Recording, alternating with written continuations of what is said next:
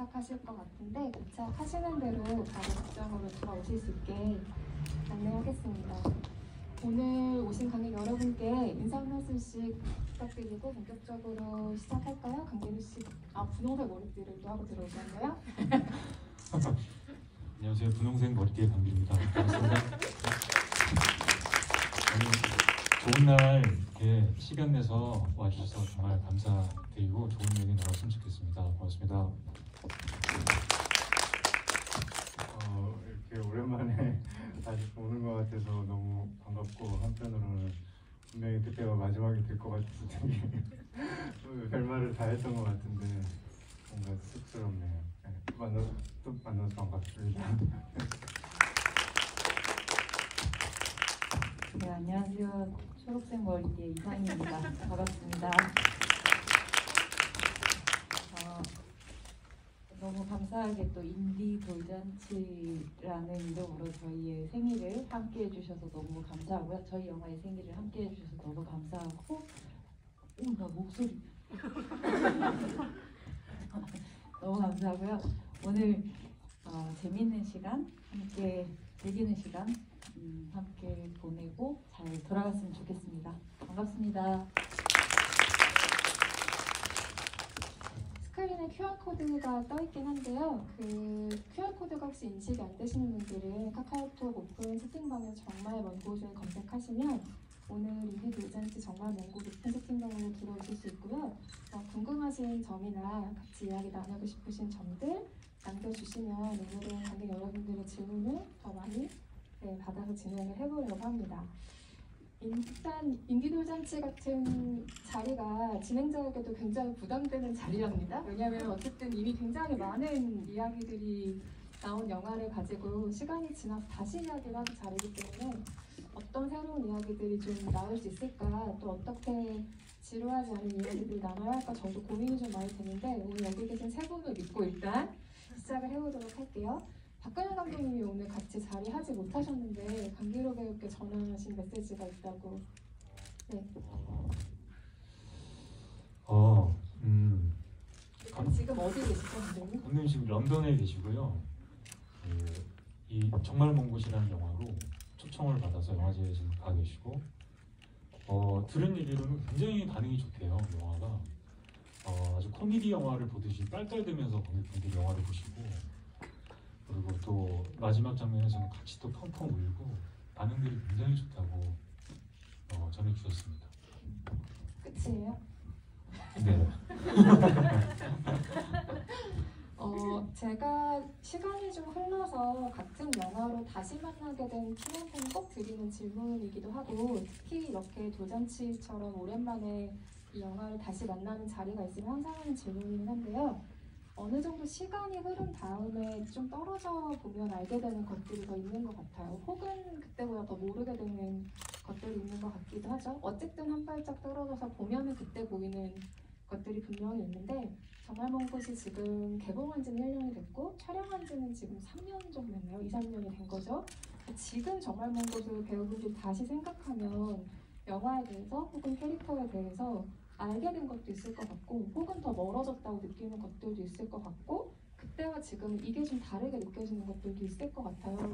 그 중에 무엇이라도 그때와 지금을 비교하면 좀 어떻게 다른지에 대한 이야기를 한번 들어보고 싶어요. 영화에 대한 것도 좋고 본인 연기한 캐릭터에 대한 것도 좋습니다.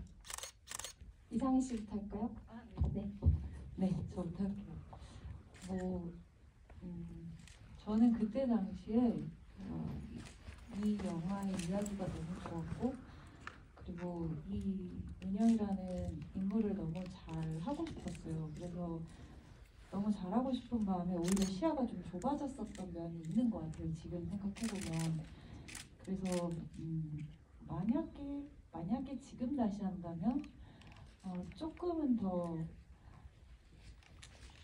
이렇게 넓은 시야를 가지고 조금은 음, 편안하게 할 수 있지 않을까 조금은 감독을 덜 괴롭히며 할 수 있지 않을까 하는 생각을 했고요. 근데 뭐 이게 그때의 저이기도 하고 음, 그때의 제가 만난 우리 영화이기도 하고 그래서 저 저라는 사람의 삶에서의 네 시간은 흘러가지만 영화 속에 나는 어쨌든 그 순간에 박제되어 있잖아요. 그래서 저는 또 좀 부족해도 그게 좋기는 해요.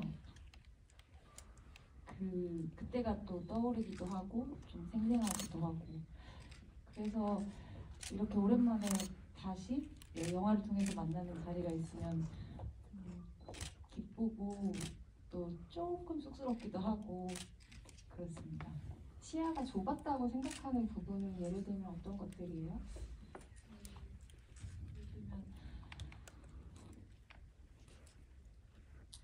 어, 그 은영이를 잘 표현하고 싶은 마음에 이 친구의 마음, 마음 속을 계속 파고 파고 파고 하다 보니까 사실 근데 뭐 우리가 이렇게 살면서 어떤 힘든 일을 겪거나 살다 이렇게 뭐 그랬을 때 사람이 늘 힘들지는 않잖아요. 그 순간순간 흘러가는 많은 감정들이 분명히 있을 텐데 이 영화를 찍으면서는 내가 이 친구의 이 감정을 놓치면 안 된다라는 생각 때문에 어, 어떻게 보면은 이렇게 흘러가는 내가 예상치 못한 좋았던 순간들이 분명히 있었을 텐데 음, 그걸 좀 놓치지 않았나 이런 생각은 들어요. 홍경 씨는 어때요? 음,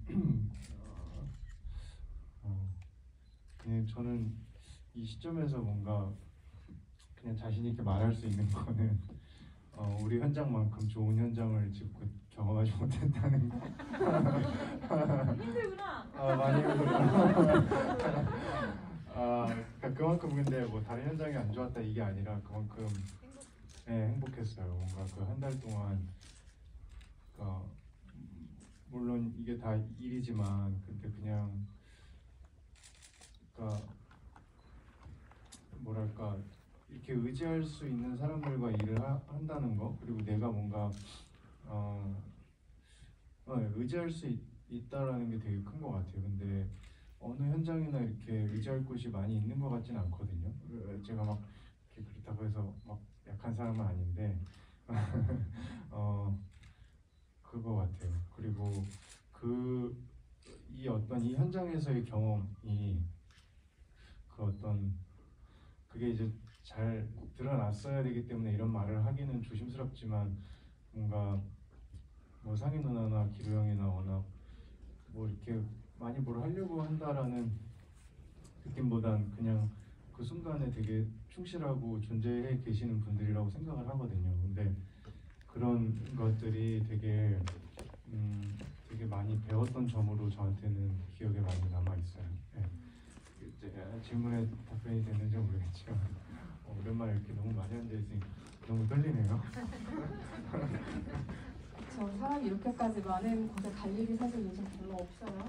김기루 씨는 이 영화를 좀 떨어져 생각해보고 어떤 게 좀 다른가요? 어, 일단 이거 좀 덮고 할게요. 쓸때 몰랐는데 비가 많이 빨개지고 있어가지고. 네, 아, 저도 상희 누나 얘기처럼 그땐 잘하고 싶었어요.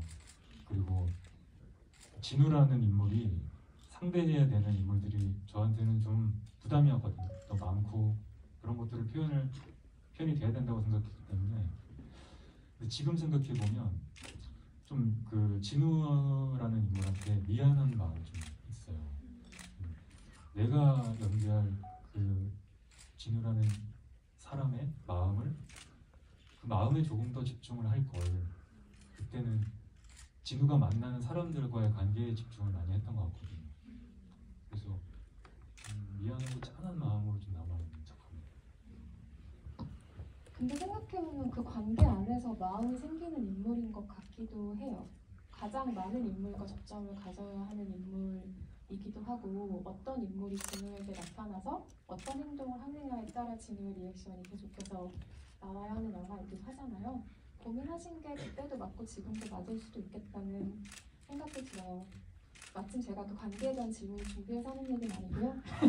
하지만 조금 이따가 드리도록 하고 영화를 저도 오랜만에 다시 봤어요. 제가 지난해 이 영화를 처음 봤을 때도 이 영화를 굉장히 좋아했고 이후로도 꾸준히 좋아하고 있는데 영화를 다시 봐도 정말 좋더라고요. 오늘 다시 보신 관객 여러분들도 마찬가지 생각하셨을 텐데 그때는 이런 생각까지는 못했는데 이번에 다시 보니까 조금씩 생각하게 되는 것들이 저도 있었어요. 그 중에 하나가 뭐였냐면 어, 영화 컷이 거의 나눠지지가 않잖아요. 그냥 굉장히 관조하듯이 카메라가 인물들을 상황들을 지켜보고 있는데 그것까지 제가 인식을 했던 것 같아요. 지난해도 그 얘기들을 나눴던 것 같은데 이번에 보면서는 무슨 생각을 조금 더 하게 됐냐면 카메라가 그렇게까지 움직이지 않고 컷을 잘게 쪼개지 않는다는 건 배우들이 카메라의 중압감과 시간을 견디는 힘이 그만큼 요구된다 안 드시기도 하더라고요. 그래서 오늘 감독님 안 계시니까 그 방식이 뭐 편한 배우들도 있지만 절대 편하지 않은 배우들도 있거든요. 그거는 뭐 개인 연기 스타일마다 다를 수 있고 성향마다 다를 수 있을 거예요. 그렇게 오랫동안 카메라 앞에서 시간을 견디고 캐릭터로서 계속 움직임을 보여줘야 했던 그 작업들에 대한 이야기를 좀 해보고 싶은데요. 이상희 배우는 어떠셨어요? 지금 생각해보면 어떤 것 같아요? 저는 저는 그 방식을 좀 편안해하는 편이어서 어, 그 방식으로 찍는 게 딱히 불편하지는 않았어요. 그런데 한번 불안했던 순간은 있죠. 이거는 뭐 여러 번 얘기했었었는데 장례식 장면이요? 음, 장례식 장면을 찍을 때 이렇게 넓은 앵글에서 이 마음이 드러날 수 있을까? 이게 담길까? 그, 그런 불안이 있었어요 저는. 근데 이제 감독님이 음, 자, 그 감독님은 충분하다고 생각한다. 그 그렇게 해서 어쨌든 감독님이 원하는 방식으로 찍고 그래도 혹시 모르니까 가까이서 한 번만 따줘라. 그래서 따기도 했어요. 그런데 이제 감독님이 편집을 하면서 음 누나 내 생각이 맞는 것 같다. 그래서 그래. 음 뭐 저 저의 목 이게 편 저의 몫은 남기는 것까지라고 생각하거든요. 소스를 남기는 것까지. 그리고 너무 고맙게 사실 현장에서 제 말에 1도 동의하지 않았지만 그냥 저라는 사람을 위해서 어 그냥 한 번 더 찍어줬어요. 그리고 너무 고맙게 기루도 그 힘든 연기를 한 번 더 해줬고 음, 그래서 그때 아유 그때 감독님이랑 둘이 얘기하느라 야, 촬영이 한다두 시간인가? 다들 그냥 너무 이렇게 열띤 토론을 하니까 떠들지도 못하고 마냥 기다리면서 어, 합의가 언제쯤 되려나 기다렸던 기억이 있습니다. 그래서 누구지 누가 강기루 배우한테 쟤네 왜 저래 그랬는데 강기루 배우가 몰라요. 밖에서 열렬히 토론하고 와서 어쨌든 그렇게 했었어요. 그래서 어, 나중에는 미안한 부분이 있긴 있었어요. 제가 그 부분에 대해서 그렇게 불안했다는 거에 대해서 좀 미안하기도 했고, 그러니까 이런 게 시야가 좁, 좁아져 있었던 것 같아요. 이게 잘 담길 수 있을까? 내- 나 자신이 없는데 이 프로 앵글 안에서 얘를 이렇게 표현해낼 자신이 없는데 막 이런 그, 그런 거였던 것 같아요. 조금 조금 편안했으면 아마 더 더 좋은 순간을 만들어낼 수 있지 않았을까라는 생각이 들고 그리고 또 너무 고맙게도 그렇게 했기 때문에 후회는 없어요. 맞아요. 그게 중요하죠. 안 했으면 계속해서 지금까지 뭔가 남아있을 수도 있는 거고 아마도 박근영 감독이 그걸 알았기 때문에 현장에서 그렇게 얘기를 한 이후에 한 번 더 촬영을 한 게 아니었을까 라는 생각도 들어요. 홍경 배우님은 어때요? 현민에게도 굉장히 오랜 시간을 요구하는 카메라들이 다가가긴 하는데요. 저는 어, 일단 너무 좋은 질문 같아요. 저는 이런 얘기하는 거 되게 좋아하거든요. 어, 저는 개인적으로 그 따고 따고를 굉장히 싫어해요. 네. 그런 영화도 되게 그런 것들이 지속되는 영화는 보면서 되게 힘들어하는 타입이고 또 예외적인 영화들도 있기는 하지만 뭐, 뭐 우리가 좋아하는 듀니나 이런 영화들은 좀 예외적, 예외적이긴 하지만 아, 여기까지 마시고요. 욕먹 이게 하지 마세요. 그게 출연을 해가지고 죄송합니다 제가 아, 욕 먹잖아요. 아 근데 뭐 아무튼 다시 얘기를 이어가면 뭐랄까 아, 예, 그런 영화를 별로 좋아하지 않아요. 뭔가 이렇게 자꾸 예, 뭔가 생각할 지점이 어- 없어진다고 저는 느끼거든요. 그런 것들이 계속되면 근데 어 그래서 하면서도 또 이렇게 보면서 그런 것들이 이렇게 싫은 이유가 그렇게 분명하고 또 실제로 이렇게 연기를 하면서도 그런 그런 것들이 어- 어- 없는 게 좋은 게 뭐냐면 이건 좀 그냥 저 편하자고 하는 거지만 뭔가 더블 액션에 대한 부담이 없다는 거. 너무 동감해. 너무 네. 동감해. 그래서 뭔가 저 또 제가 제가 어떻게 했는지 기억을 못해서 항상 촬영 들어가기 전에 이렇게 스크립터 분이나 이런 분들께 양해를 먼저 조심스럽게 구하고 하는 하는데 너무 TMI지만 네 근데 아 아무튼 저는 그래서 그래요 네 죄송합니다 다 아시겠지만 그 배우들이 현장에서 더블 액션을 요구받는다고 하는 건 어, 방금 설명하신 것처럼 컷이 계속 위치가 바뀔 때 똑같은 연기를 두 번, 세 번 반복해서 카메라가 그 사람의 얼굴을 잡거나 뭐 예를 들면 지금 숏을 나중에 편집해서 이어붙이는 방식이죠. 이렇게 둘이 대화를 하면 이 사람도 한 번 찍어야 되고 저도 한 번 찍어야 되잖아요. 이렇게 액션을 여러 번 해야 되는 경우들이 현장에 생기는데 이것처럼 카메라를 픽스해놓고 공기까지 다 담아버리는 방식으로 촬영을 하면 방금 은경 배우가 얘기한 더블 액션의 부담이 확실히 줄어드는 것도 사실이긴 하죠. 강기로 배우님은 어떠세요? 사실 박근영 감독님 스타일에 최적화된 배우이긴 하잖아요. 네, 그렇죠. 한강에게로 좀 연습을 하고 찍었기 때문에 오히려 뭐 한강에게를 기준으로 생각했을 때는 오히려 정말 뭐 무슨 가축구 찍은 현장이었고 근데 그것과는 또 다르게 어, 그 정말 먼 곳을 촬영할 때 대부분의 장면에선 연기를 할 때 눈에 카메라가 그렇게 들어오진 않았었거든요. 그냥 어딘가에서 찍고 있는 건 알지만 눈에 카메라가 밟혀서 부담스럽고 그렇지는 않았었어요. 왜냐하면 정면에 있거나 가까이 있었던 적이 별로 없기 때문에.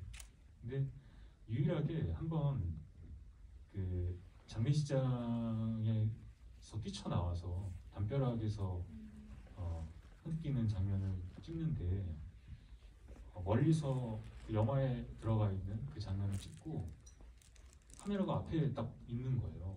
정면을 찍으려고 하는 거예요. 그때 갑자기 겁이 확 나더라고.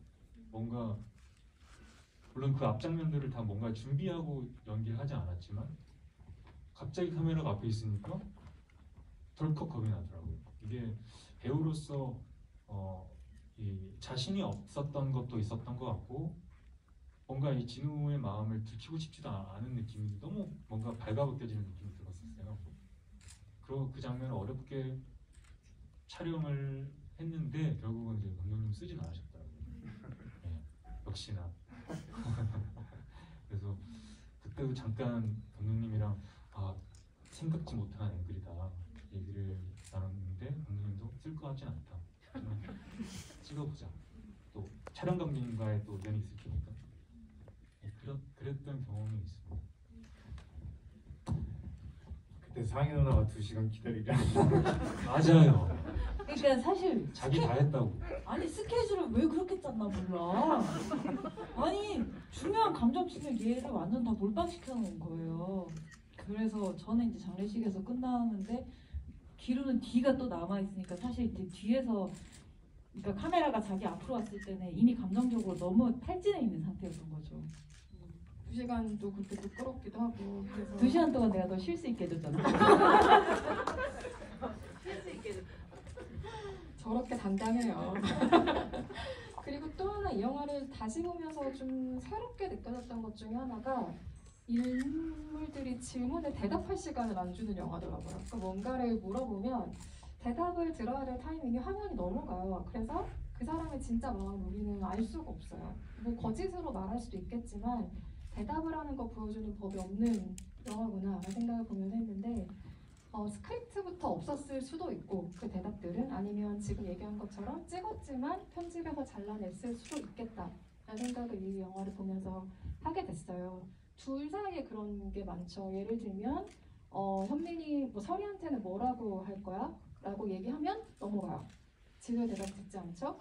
그리고 트럭에서도 막 둘이 싸우다가 진심으로 하는 말이야? 이건 되게 중요한 질문이잖아요. 그런데 대답을 하게 하지 않고 밖으로 나가버리게 만들죠. 그러니까 이 둘 사이의 대화를 포함해서 질문을 던지고 나서 영화가 답을 들려주지 않는 방식? 이건 스크립트에서부터 있었던 설정이에요? 아니면 편집에서 조금 추가된 설정이에요?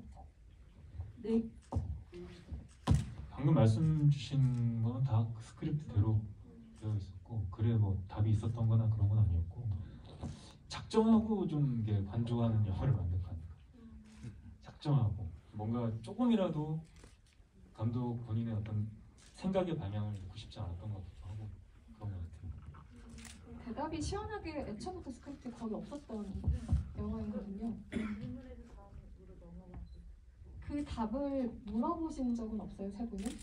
이 사람은 뭐라고 답했어요? 라든지 이때 저는 어떻게 생각을 해야 돼요? 라든지 질문에 대한 답을 감독에게 물어본 적은 없나요? 진호가 아무래도 많았을 것 같은데 그러게요 저는 물어본 적이 없네요 다 이해를 했기 때문에 이, 이, 이 그런 것 같아요. 이해를 했다면 이게 맞냐고 물어봤을 것 같은데 저도 모르겠어요. 모르겠고 모르는 게 또 맞는 건가? 이 이게 맞냐 저게 맞냐 물어도 감독은 얘기를 해줄 것 같지도 않고 그냥 본인도 관계 한 명으로서 얘기해 줄 것 같은 느낌 정도였고 그래서 물어도 의미가 없겠다 싶었는지 좀 물어본 적은 없네요. 근데 뭐 제가 박근영 감독을 옹호하려고 하는 얘기가 아니라 그게 자기 확신이 없어서 그러는 사람이 있고 현장에서 자기 확신이 되게 분명해서 그러는 사람이 있는데 박근영 감독은 후자 같아요. 영화를 만드는 스타일이나 아니면 그 영화를 만들었을 때 얘기들을 들어보면 어, 배우들에게는 그걸 구체적으로 설명해 주거나 이게 부연 설명이라고 생각해서 말하지 않은 어떤 것들이 있었겠지만 본인 안에서는 이 영화에 대한 전체적인 그림이 굉장히 잘 머릿속에 정리돼 있었던 것 같아요. 그래서 현장에서 굉장히 좀 빠른 판단들을 내리면서 어, 가지 않았었나. 여기에 굳이 답이 필요 없다는 건 역시 이미 다 그림을 그리고 영화를 만들지 않았나라는 생각도 들고요. 서리와 할머니에 대해서도 제가 이번 영화를 보면 다시 한번 좀 이 둘의 존재를 생각을 하게 됐어요. 이 둘은 처음에 단순히 아이와 노인이라고 생각했거든요. 정말 단순하게는 이 영화가 어쨌든 죽음으로 시작해서 삶으로 끝나면서 순환을 그리면서 진행이 된 영화다 보니까 저는 아이와 노인의 역할이 굉장히 필수적이라는 생각이 이 영화를 처음 볼 때부터 들었는데 이번에 다시 볼 땐 어떤 생각이 들었냐면 그 두 사람은 인물들에게 뭔가를 깨닫게 하는 사람들이라는 생각이 들었어요. 그리고 공통점이라면 사라졌다가 다시 나타나서 이전과는 좀 다른 의미를 갖는 사람들이 된다라는 공통점도 있는데 이들이 각 인물에 미치는 영향이 뭐였을까 이런 궁금증이 있어요. 예를 들면 은영은 할머니가 갑자기 정신이 돌아왔던 아침에 식혜를 만들면서 은영에게 아주 중요한 얘기를 하거든요. 이렇게 잘 보면서 기다리는 거 중요해. 난 대사를 하면서 머리를 쓰다듬어 주잖아요. 그럼 할머니와 은영 캐릭터의 관계가 생기는 거예요. 은영은 그거에서 뭔가를 깨닫게 되는 거죠. 이렇게 서리와 그 할머니와 각자의 캐릭터와의 관계에서는 어떤 것들이 좀 깨달아진다는 생각들을 했는지도 궁금하네요. 하인 씨부터 할까요? 저는 이제 그때 어 이것도 아시는 분은 아- 아실 수도 있는데 감독님이 이제 할머니와 그 은영의 어떤 관, 관계를 넣고 싶은 씬을 추가하고 싶다라고 얘기하셨었고 저한테 혹시 뭐 생- 생각이 나는 어떤 부분이 있냐 했을 때 제가 예전에 어- 이제 엄마가 갑자기 그 입원을 했을 때 엄마 병원에서 있는데 그 대각선 끝에 치매 할머니가 계셨어요. 치매 할머니가 계셨는데 저한테 이제 갑자기 막 이렇게 손짓을 하시더라고요. 그래서 갔는데 자두를 이렇게 딱 주시고 제 머리를 이렇게 쓰다듬어 주시는 거예요. 그래서 나그 순간이 너무 기억이 나서 그 그냥 감독님한테 얘기를 했고 감독님이 자기 너무 좋은 것 같다고 해서 그 그 시케신을 이제 그냥 감독님이 만드신 거죠. 근데 음 그때는 그때는 이제 그 이 영화의 근래에 은영이 누군가에게 그런 식으로 위로를 받은 적이 없을 거라고 생각했어요. 저는 그게 이제 할머 할머니한테 되게 낯선 타인에게 그 생각지 못한 어떤 위로를 받게 된다고 생각을 했었고 어 그리고 이제 지금은 얼마나 사실 그 내, 내달리면서 왔을 거 아니에요. 어, 뭐 현실로부터 도망을 치든 혹은 그 틀어진 현실을 바로 잡기 위해서든 어, 막 되게 내달리면서 온 그 사람인데 할머니께서 기다리는 거라고 천천히 기다리라고 이렇게 쓰다듬어 주시면서 괜찮다고 얘기해 주는 것 같아서 음 그때 조금 서리를 찬찬히 들여다볼 여유가 저는 생겼던 것 같아요. 그 촬영을 하고 그래서 그냥 그 순간을 만들어준 것 같은 기억이 나요. 현미는 어때요? 왜냐면 영화 안에서 뭐 할머니라든지 서리와 둘이 뭔가를 직접적으로 하는 장면 자체가 구체적으로 나오진 않는데 어쨌든 그 두 인물이 현민에게 준 영향이 어쨌든 있을 거라고 생각했는지 궁금해요.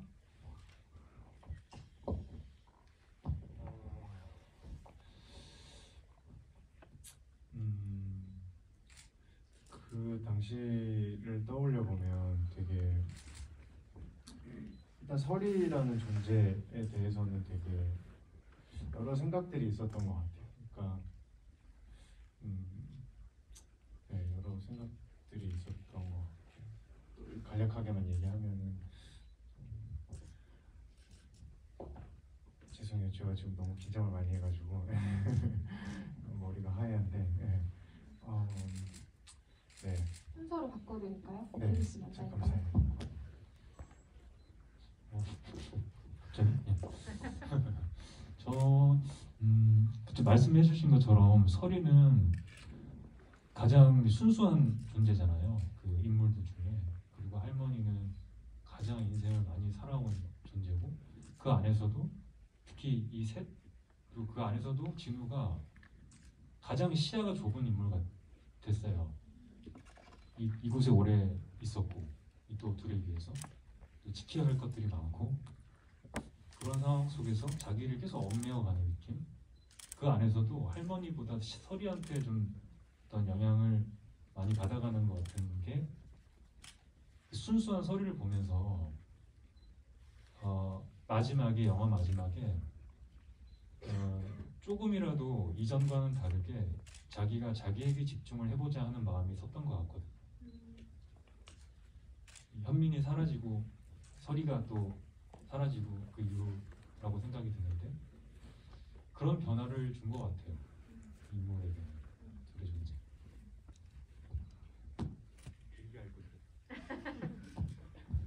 그게 내가 뭐라도. 아 그리고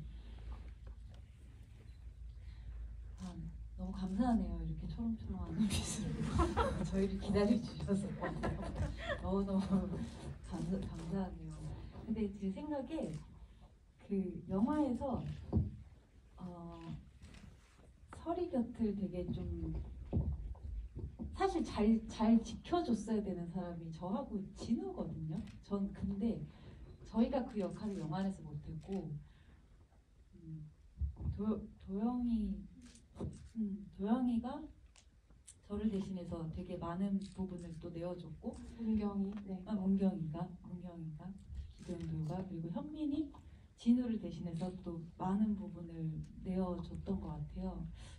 그래서 음, 나중 그 사실 찍을 때는 잘 몰랐어요. 찍을 때는 저는 문경을 질투하기에 바빴기 때문에 왜냐하면 내 자리에 그 친구가 있는 것 같았거든요. 네, 그래가지고 근데 이제 나중에 영화를 보면서는 그게 되게 고맙더라고요.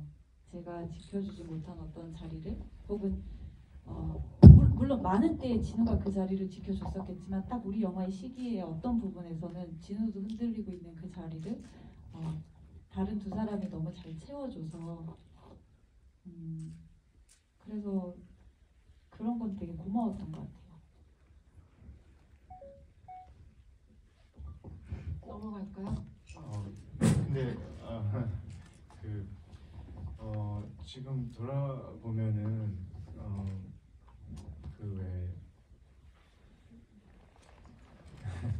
그날 기룡이 고생을 많이 한 날인데 그 왜 서리에 대한 거뭐 유치원 안 보낼 거야 뭐 이런 얘기도 하고 막 그러잖아요.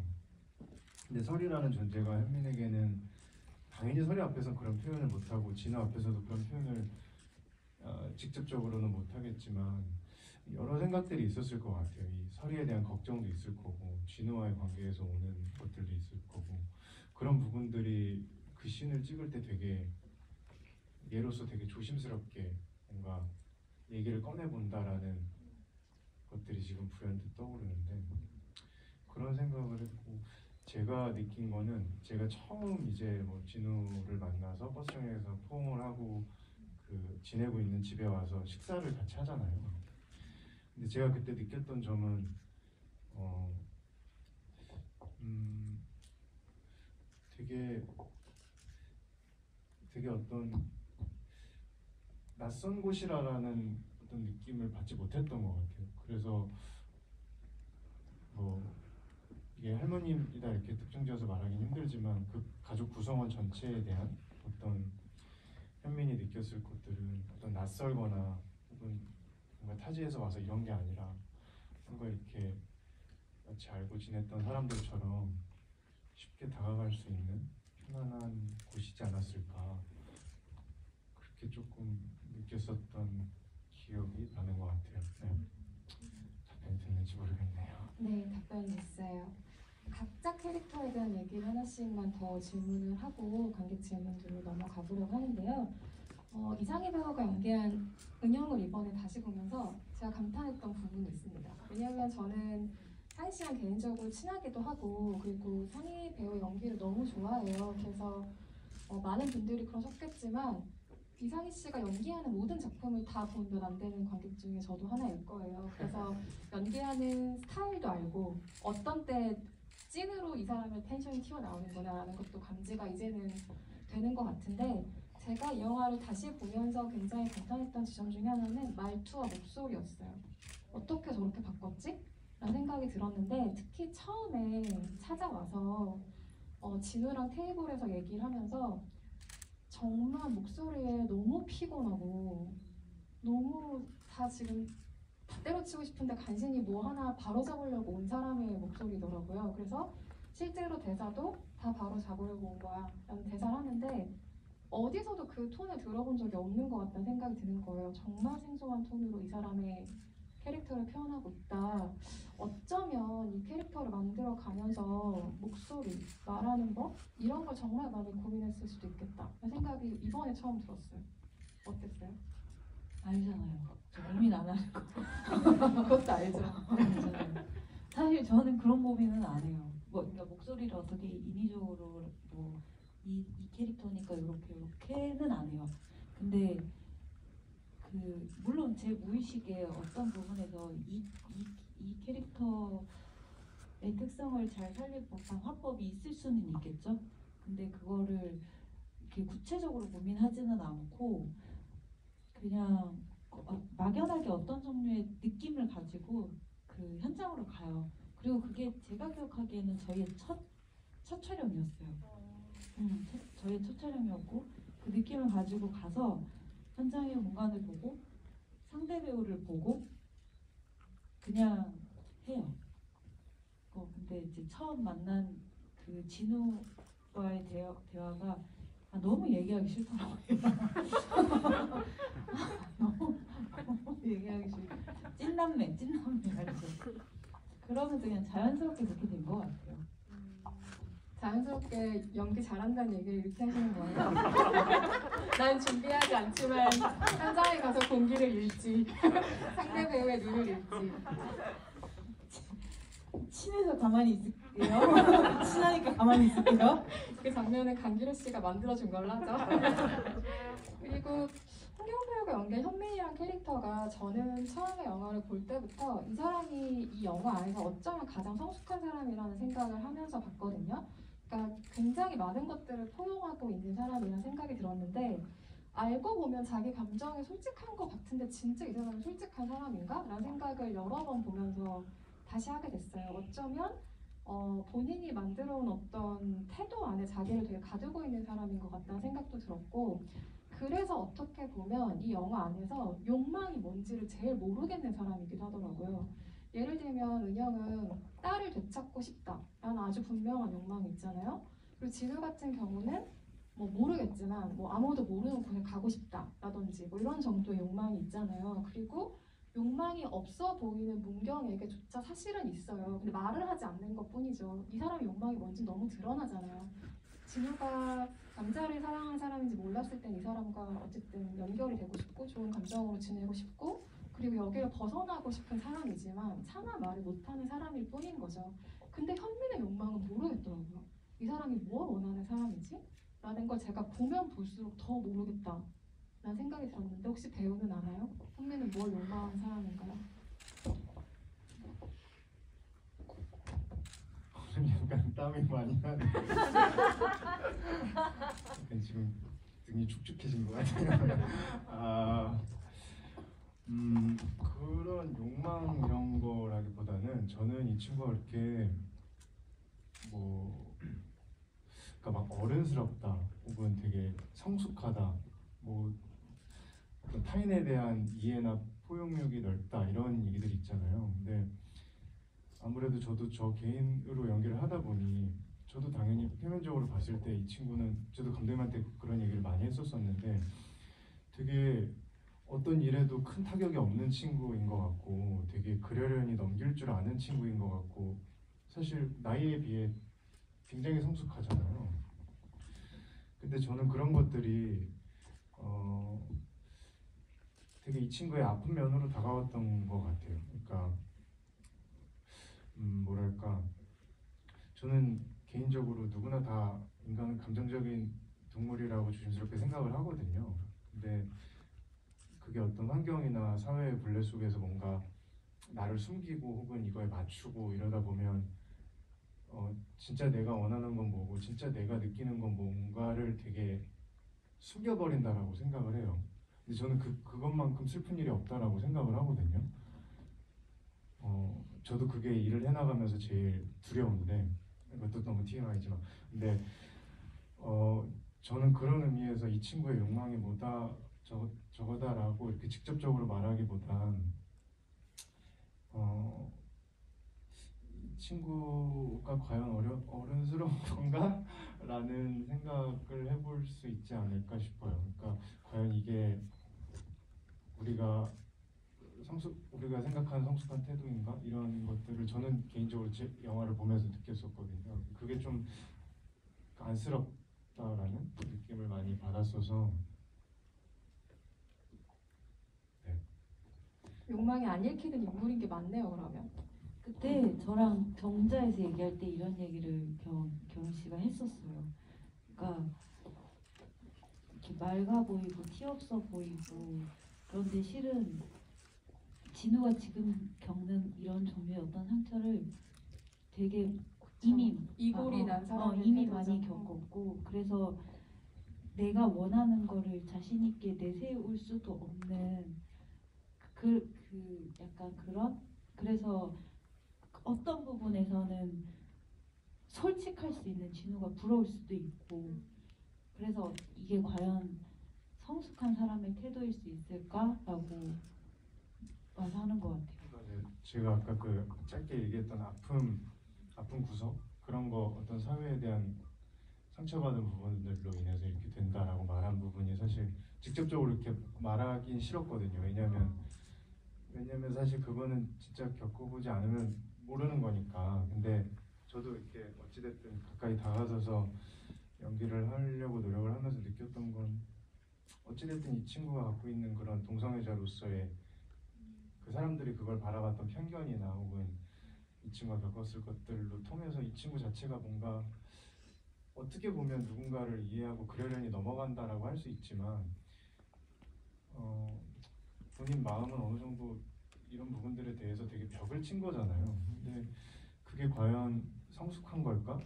그게 과연 음, 맞는 걸까라는 질문은 어, 저 자신도 되게 깊게 해봤거든요. 그러니까 이게 너무 또 깊게 생각하는 걸 수도 있겠지만 이, 친구는 되게 안쓰럽다. 이렇게 만든 건 본인의 의지가 아닌데, 그러니까 저는 그 그 그것 때문에 이 현민이라는 친구가 되게 하고 싶었고 이걸 보면서 많은 사람들이 뭔가 느낄 수 있지 않을까? 너무 직접적이지 않지만 이 친구의 어떤 태도들로 변- 태도들을 보면서 그런 걸 좀 느낄 수 있지 않을까 하는 생각을 조금 했었어요. 네.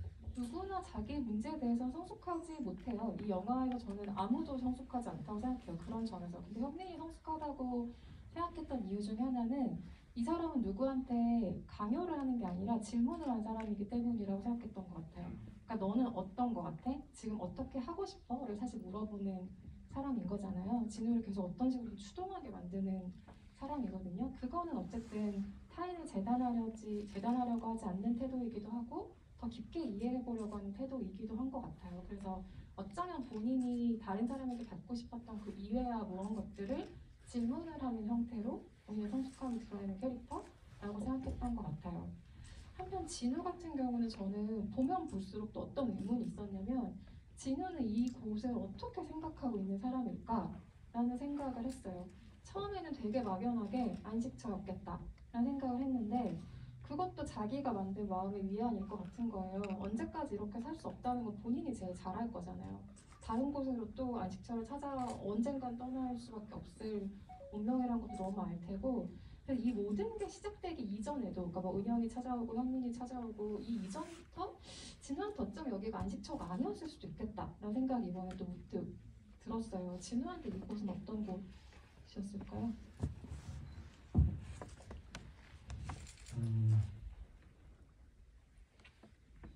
영화를 영화가 다 끝난 시점에서 생각을 해봤을 때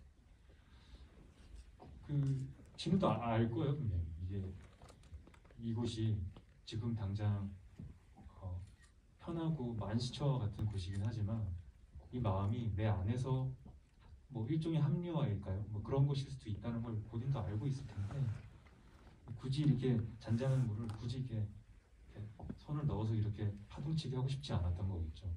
그리고 굉장히 어, 궁지에 몰려 있고 뭔가 날이 서 있고 계속 어떤 코너로 몰려간 상황 속에서 아, 더 이상 몰려 몰려도 되지 않을 것 같은 곳을 만났다고 스스로 위안을 삼고 있던 곳이었고 그리고 어, 왜 생각을 하지 않았을까 싶, 싶어요. 분명히 생각을 했을 거예요. 여기 있는 사람들이 내가 이 어, 동성애자인 걸 알게 됐을 때 변할 수도 있고 혹은 이들이 변하지 않아도 내가 이들을 의심할 수도 있고 다시 이곳이 불편해질 곳이라는 것도 스스로 알고 있고 결국은 뭐 그냥 저도 관객의 하나로서 보기에는 그냥 어떤 해결이든 도피든 뭐가 됐건 자기 안에서 답을 찾아야 되- 되는 곳이고 그게 뭐 하천이건 뭐 서울이건 중요하지 않을 수 있다 이런 생각이 들었던 것 같아요. 그리고 뭐 언젠가는 현민의 말처럼 뭐 어떤 큰 외국의 농장을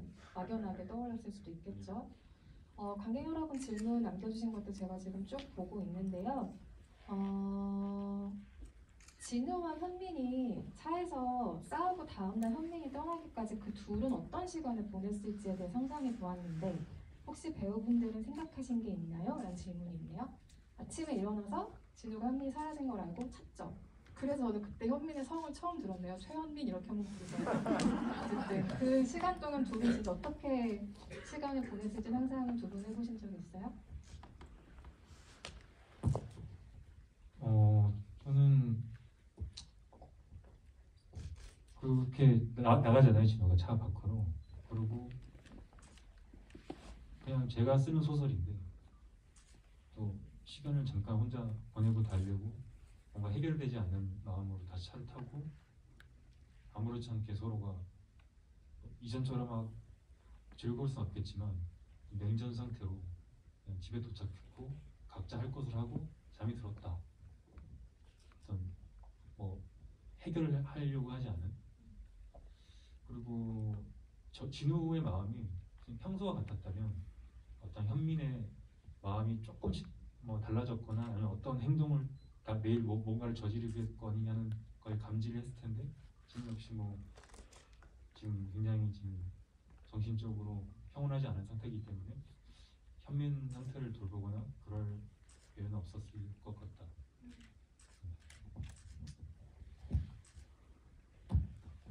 저도 뭐 저도 정답은 없지만 저도 그냥 제가 지금 뭐 이렇게 생, 생각해 보면 뭐 이렇게 막 뗀뗀하긴 했겠죠. 그렇게 막 감정적으로 서로 이렇게 되게 되게 폭발을 많이 하고 이렇게 많이 싸웠는데 그리고 차까지 들렸는데 뭔가 그 이후에 뭔가 아무렇지 않았을 것 같진 않지만 그렇다고 해서 막이 친구가 어떤 뭔가 그런 뭐 이렇게 이 친구가 먼저 풀어보려고 하지 않았을까? 그리고 또 진우의 마음을 더 헤아리려고 뭔가 눈치 보고 또 뭔가 사과의 말을 건네고 아무렇지 않게 그렇게 화해하지 않았을까? 그리고 나서 갑자기 호련이 사라지지 않았을까 싶어요. 이미 그 순간 그렇게 감정적으로 뭔가 서로 부딪힌 이후에 그 부딪히면서 이 친구는 분명히 그런 지점에 있어서 상처를 받았기 때문에 그런 선택을 한 것 같다라고 저는 생각을 했거든요. 이건 역시 정답이 아닐 수도 있지만, 음, 네, 그랬을 것 같아요. 잘 모르는데 되게 조용히 짐을 싸는 사람이었나 봐요. 나가는 걸걸 근데. 그거는 좀 약간 공감이 되더라고요. 약간 저한테도 그랬을 것 같아요. 아 그렇게 티 안 나게 조용히. 네, 약간 음. 뭔가 나 떠날 거야 이러면은 올 때 짐을 되게 가볍게 들고 금방 갈 수 있는 상태로 올 그렇죠. 거. 그 장면 관련해 성경여인님께 질문 들어온 게, 아 이분 대화명이 너무 귀엽네요. 정 절망 몇 곳이라는 대명을 쓰는 분께서 네, 절망 몇 곳. 진호와 현민이 차에서 싸우고 난 다음에 어찌 보면 현민이 눈물을 흘리지 않을까라고 생각했는데 안 울더라고요. 이유가 있을까요? 라는 질문 주셨네요. 어, 눈물이 안 났어요. 어, 눈물을 뭐 지문에 그런 사실 그, 네, 그런 것도 없었고, 음, 근데 보시면서 좀 그래도 마음이 짠하셨기에 그런 말 질문을 해주셨겠죠. 근데 뭐 그렇다면 저는 성공적인 것 같아요. 왜냐면 우는 연기를 보면서 이렇게 슬픈 것보다 실제로 이런 이런 슬픈 상황 속에서 이렇게 관객분들이 느끼시는 게 중요하니까. 근데 제가 그 당시에 느꼈던 거는 음, 음, 그냥 슬픈 감정은 있었던 것 같아요. 그게 뭐 눈물이 흐르건 안 흐르건 그거는 저한테 별로 중요하지 않았고, 음, 어, 뭔가 내가 이렇게 이 상황을 이렇게 만든 건가? 정말 나로 인해서 이 친구가 이렇게 불, 불편해지고 내가 정말 이렇게 망친 건가 모든 걸 이런 생각들이 팍 들어서 약간 뭐라고 해야 되지? 그렇게 제가 마지막에 한번 소리를 확 지르고 차가 확 멈추고 난 다음에 그때 이렇게 되게 온몸이 바들바들바들 막 떨렸던 게 아직도 기억이 나요. 되게 네, 되게 이렇게 이상했던 감정이 네, 그랬던 것 같아요. 네. 이상희 배우님께는 이런 질문이 들어와 있습니다. 은영의 발언으로 진우의 견고한 세상에 금이 가서 돌이킬 수 없는 상황까지 이르렀음에도 불구하고 은영이 마냥 미워할 수 없는 역할이라고 생각합니다. 혹시 은영이 악역으로 비춰지는 것을 경계하지 않으셨는지 궁금합니다. 경계했냐고 물으시는 거죠? 저한테. 전 경계하지 않았어요. 저는 늘 내가 빌런이다라고 얘기했어요. 우리 팀, 어, 나만 빌런이야. 근데 이제 그 보신 그 시선이 감독님의 시선이에요. 감독님은 늘 아니야 은영이는 빌런이 아니야 이렇게 항상 얘기해요. 정말 먼 곳 매니아라는 대안을 주시는 분께서 1년 기념으로 다시 만날 수 있어 너무 기쁘다는 얘기를 주시면서 어, 정말 먼 곳 하면 생각나는 은행나무나 파로가 오래도록 기억할 아름다운 장면이라고 하셨어요. 그러면서 가장 기억에 남는 영화 장면이 무엇인지 말씀해 주세요 라고 세 배우에게 공통 질문을 주셨습니다. 강기루 배우님부터 할까요? 기억에 남는 장면이 너무 많아서 항상 지, 이런 질문을 항상 그래서 지금 순간 떠오르는 장면을 고르긴 했었거든요. 저는 저는 아까 말씀드린 장면인데 그 담벼락 장면이 항상 기억에 나- 남는 장면 중에 하나고 오늘 역시도 오늘 대화의 답변의 어떤 내용들이 뭔가 1년 전에 개봉을 했고 이렇게 시간이 흘러서 영화와 촬영 현장들을 생각하니까 이제 그러니까 아쉬움들이 좀 많이 남는 크거든요. 크거든요. 그래서 그 아쉬움이 남는 장면을 생각했을 때그 담벼락 장면이 생겨요.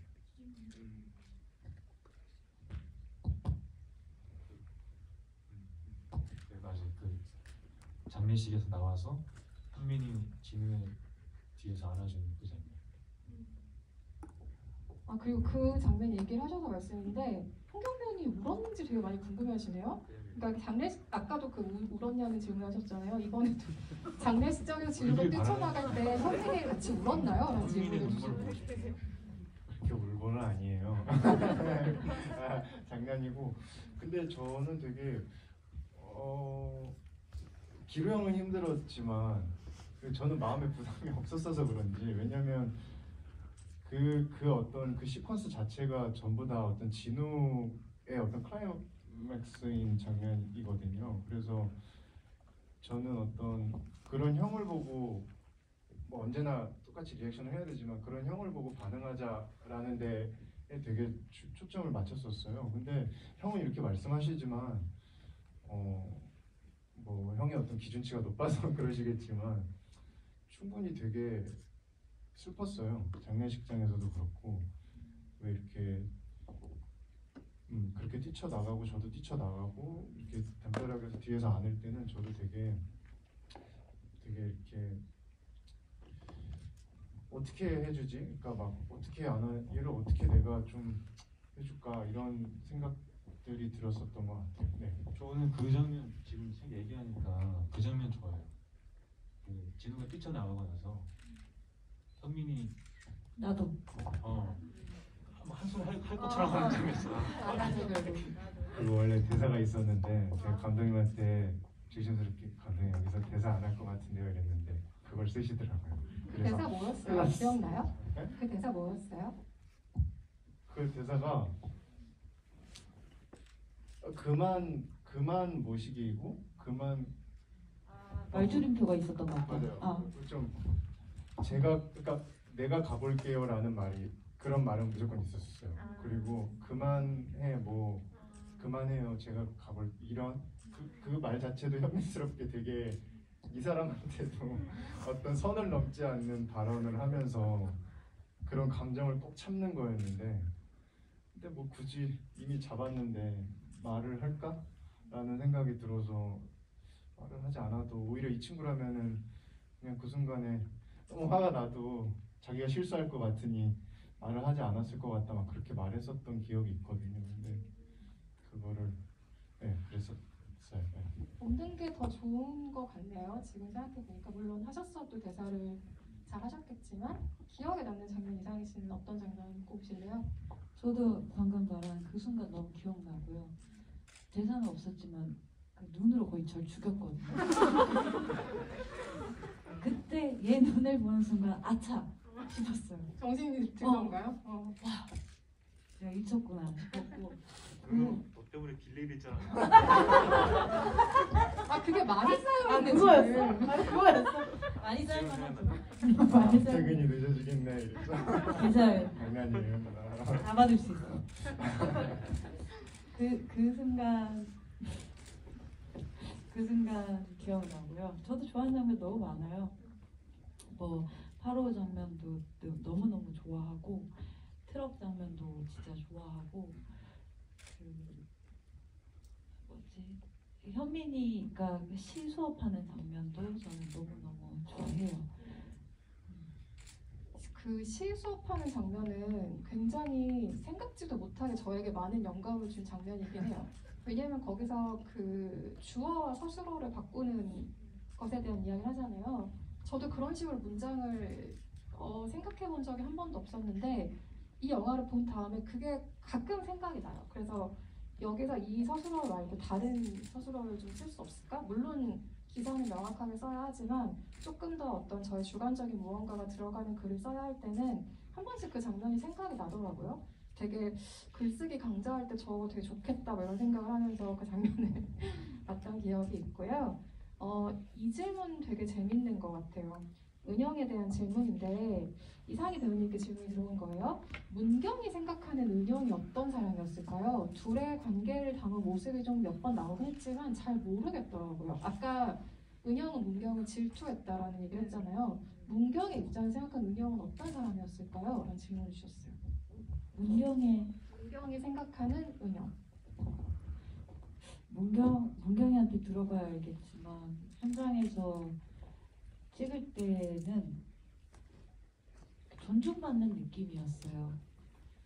뭐 아마도 그냥 설이의 엄마이기 때문이겠죠. 어, 제가 이렇게 벽을 치고 해도 늘 약간의 거리를 두고 그냥 저를 있는 그대로 존중해주는 느낌이었어요. 음, 그 치, 물론 그 친구도 하고 싶은 것이 있었을 테고 그럴 텐데 그냥 극중 그 문경의 캐릭터처럼 할머니를 대할 때처럼 자기 안의 욕망은 일정 부분 저, 접어두고 음, 네, 저, 저를 그렇게 대해줬던 것 같아요. 그 부녀 캐릭터가 좀 그런 것 같아요. 왜냐면 뭐 진우는 일하는 사람이기도 하고 오랜 시간을 같이 보냈을 거고 설이에 대해서는 뭐 내 새끼라는 말까지 쓸 정도로 이미 어떤 유착 관계가 좀 형성이 돼 있지만 사실 그거 쉬운 일 아니잖아요. 그렇기도 하고 지금 진우로부터 촉발된 군 식구들이 계속 들어오거든요. 현빈도 오고 뭐 은영도 오고 이러는데 어쨌든 그들은 이 뭐 군 식구들에 대해서 별 말을 하지 않고 뭐 옥수수도 갖다 주고 아무튼 뭔가 좀 이렇게 품어주는 듯한 캐릭터가 그 두 사람에게서 계속 나오는 것 같아요. 그래서 어느 순간에 중마는 진우에게 자기의 젊은 시절의 모습을 봤던 게 아닐까라는 생각도 저는 어느 순간 하게 되더라고요. 그래서 그 둘의 어떤 품어주는 기운 같은 것들 그게 또 영화 특별하게 만들고 있는 것 중에 하나인 것 같고요. 근데 좀 생뚱맞은데 군식구라고 하니까 나 갑자기 기생충 생각이 나. 그 정도는 아니에요. 그냥 뭐 딸린 식구 정도. 어, 마지막 질문으로 좀 가벼운 질문을 해볼까요? 양에 대한 질문들이 역시나 있는데 배우님들과 양님들과의 케미가 좋았나요? 라는 질문을 주셨네요. 저는 좀 괜찮았던 것 같아요. 양을 양을 그 양들이 성격이 다 달라가지고 저랑 좀 친했던 친구들도 있고 말을 좀 안 듣는 애들도 있었는데 주로 이제 털 깎는 그 양이나 주로 이제 다뤄야 되는 양들은 좀 그 중에 좀 저랑 친한 양을 골라가지고 촬영을 했고 좀 말을 안 듣는 양은 미안하지만 저 우리의 좀 너무 그렇게 했습니다. 아, 근데 갑자기 궁금한데 고양이도 그렇고 강아지도 그렇고 친해질 때 다가가는 방법이 조금 다르잖아요. 양은 어떻게 해야 돼요? 저도 그 고민이 많았는데 양의 특성이 있겠지만 제가 느낀 거는 또 성격이 다 달라서 그것 역시도 어떤 양들은 제가 이렇게 뭐 해보려고 해도 이게 도도하게 튕기고 어떤 양들은 뭐 제가 뭘 하지 않아도 먼저 다가오고 그런 기억이요. 음, 사교성이 좋은 양들이 좀 있었군요. 네네네. 음. 이상희 씨도 양이랑 촬영한 장면이 있었잖아요. 저는 양과의 케미는 기대하지 않고 그냥 운의 하늘에 기대했어요. 어떤 테이크에는 걸리겠지 하고 그냥 계속했어요. 거기서 은영은 양을 무서워하잖아요. 뒷걸음치다 넘어지는 장면도 있는데 실제로는 무서워했어요. 아, 실제로는 그렇게 무, 무섭지는 않았어요. 음, 뭐 양이 저를 해하지는 않으니까. 거기 넘어질 때 거기가 양 똥이 엄청 많았어요. 그냥 다 깔려 있다고 보시면 되는데 되게 온몸을 던지더라고요. 양들이 연기 어떻게 한 건 너무 궁금하다고 이런 질문들도 올라와 있는데 뭐 연기를 direction 할 수가 없잖아요. 양들이 그렇죠? 그 처음 양털 깎는 장면을 이제 긴 테이프로 이제 트랙을 깔고 카메라가 들어가면서 찍는데 몇 번 찍긴 했었거든요. 근데 정말 뭐 마치 그 촬영장에 보조 출연 분들 촬영할 때 투입 투입 타이밍 맞춰서 들어오는 것처럼 양들이 알아서 했어요. 그냥 탁 자- 정말 자연스럽게 1번 양이 카메라를 살짝 가려주고 2번 양이 그 뒤에 시간차로 싹 들어와주고 3번 양이 탁 쳐다봐주고 이런 것들이 마법같이 나온 거죠. 그게 첫 촬영이었던 것 같거든요. 그래서 아 촬영 잘 되겠다 라고 착각을 했죠 그때는. 그럴 때 진짜 짜릿하잖아요. 아, 그치. 양들이 어, 알아서 진짜. 딱딱딱 해줄 어. 때 자기 role대로 또 해줄 때 얼마나 짜릿해요. 그러니까 모든 것이 맞아 떨어진 어떤 마법의 순간을 만났을 때 진짜 짜릿하고. 그게 배우들이 스크립트를 볼 때 절대 상상할 수 없는 것들이죠. 그게 현장에서 벌어지는 일들이기도 하고 사실 영화라는 게 그런 장면들의 합이에요. 배우들도 그렇고 감독도 그렇고 현장에 가기 전까지는 이 장면에 대해서 아주 많은 준비를 하지만 이 장면이 어떤 식으로 카메라에 찍힐지는 그날 누구도 모르는 채로 가는 거죠. 그렇게 가장 최상의 마법이 벌어진 결과물들을 여러분들이 보시는 영화로 완성을 하는 것 같습니다. 어, 다른 질문들도 많이 올라와 있는데 시간 관계상 여기서 마무리를 해야 될 것 같고요. 어, 제가 지난해 이 팀을 개봉일에 만났더라고요. 개봉일에 만나고 저도 1년 만에 정한 곳에 대해서 다시 한번 얘기를 나누게 돼서 너무 좋았어요. 제가 영화 정말 많이 좋아하거든요. 오늘 오신 관객 여러분들도 그런 마음으로 이 자리에 오늘 오셨을 텐데 특별히 감사의 마음을 담아서 끝 인사를 잘 해주셔야 될 것 같아요. 이상희 배우님부터 끝 인사 한 말씀씩 부탁드리겠습니다. 네 오늘 어, 긴 얘기 너무 끝까지 함께 해주셔서 진짜 너무 감사하고요. 그리고 런던에 있는 그녀아 고마워. 아마 그녀 감독도 이 자리 진짜 오고 싶어 했었는데 아쉬워하셨어요. 네, 너무 네. 너무 아쉬워했어요. 그리고 저희에게 좋은 시간을 잘 채우고 가라고 진짜 당부했거든요. 오늘 함께한 시간 너무 좋았다고 제가 눈으로 느껴지는 이 마음들 카톡으로 전하겠습니다. 감사합니다.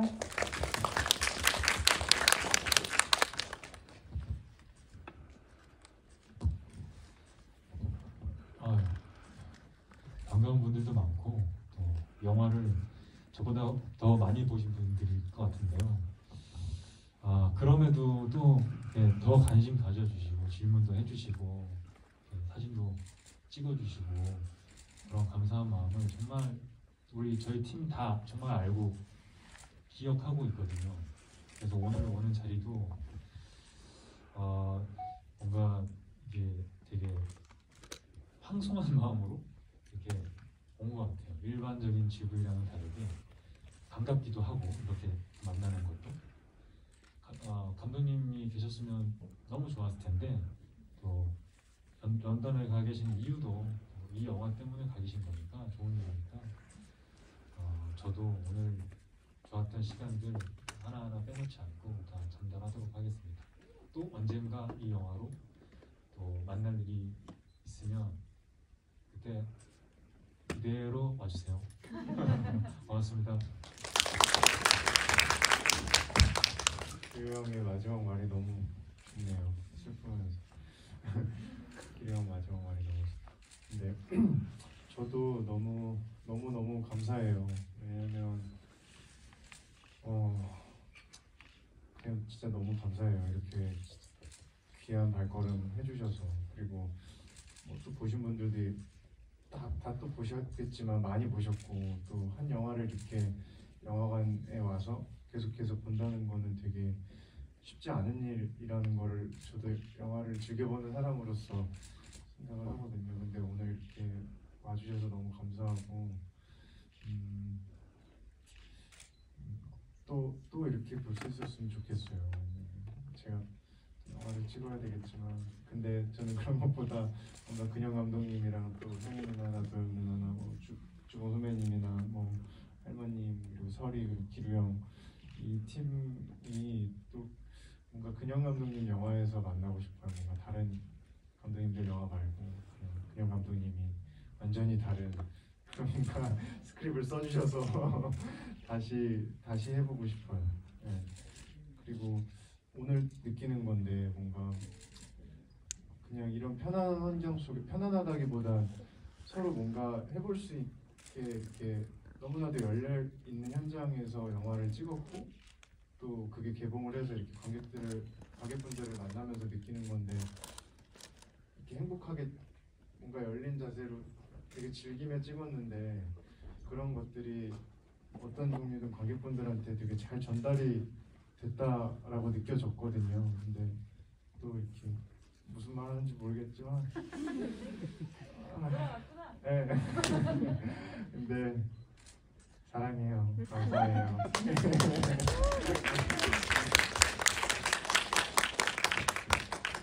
네, 정말 원고 극장에서는 간혹 이런 식으로 뭐 특별상의 형태로 만나볼 수 있겠지만 지금 서비스 되고 있는 곳들이 있죠. 그래서 어, 여전히 영화를 계속 많이 아껴주셨으면 좋겠고요. 오늘 자리에 함께 해주신 정말 정말 감사드립니다. 안녕히 돌아가세요. 감사합니다.